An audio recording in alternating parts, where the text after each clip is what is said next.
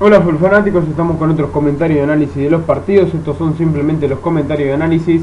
Abajo en la parte de descripción tenés el link para ver los goles del encuentro donde el Manchester United perdió 2 por 1. ¿eh? Se lo dieron vuelta al conjunto de Bangal.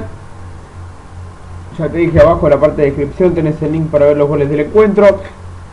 El primero marcado por el equipo visitante, la jugada de Rooney dentro del área que toca hacia atrás, el pase de primera de zurda para que Ander Herrera, el ex jugador del Atlético de Bilbao, ponga el 1 a 0, rematando cruzado, imposible para el arquero del conjunto local, para el arquero Fabianski, que luego el Swansea, eh, después del centro de, Shelby, entra el jugador Key para marcar el 1 a 1, el jugador coreano muy buen mediocampista, metía el muy buen centro para eh, metía el muy buen centro para que la toque aquí y de esta manera convierta el empate.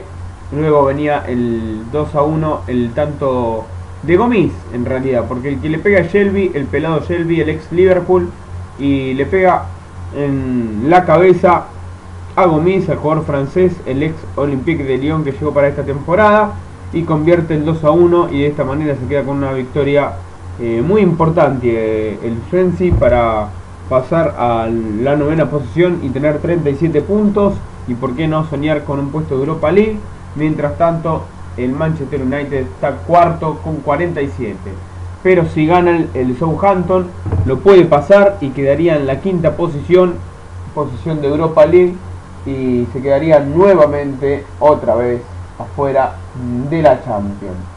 Habrá que seguir, seguir eh, detenidamente las posiciones del equipo de Bangal en todas las fechas porque es un equipo que cuando le hacen un gol se comienza a pinchar mal. ¿eh? Le ha pasado en el 80% de los partidos, le hacen un gol y no saben cómo darlo vuelta. Hoy tuvo más la pelota, pero generó mucho menos que el conjunto local, el equipo galés, que transformó en gran figura a David De entre otros jugadores.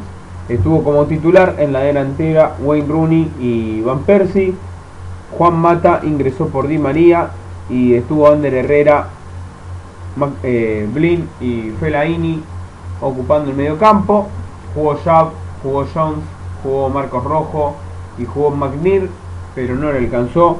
En el visitante ingresó, faltando 15 minutos, Jefferson Montero. Dicho esto, nos vamos a encontrar más tarde. Abrazo de gol. Chau.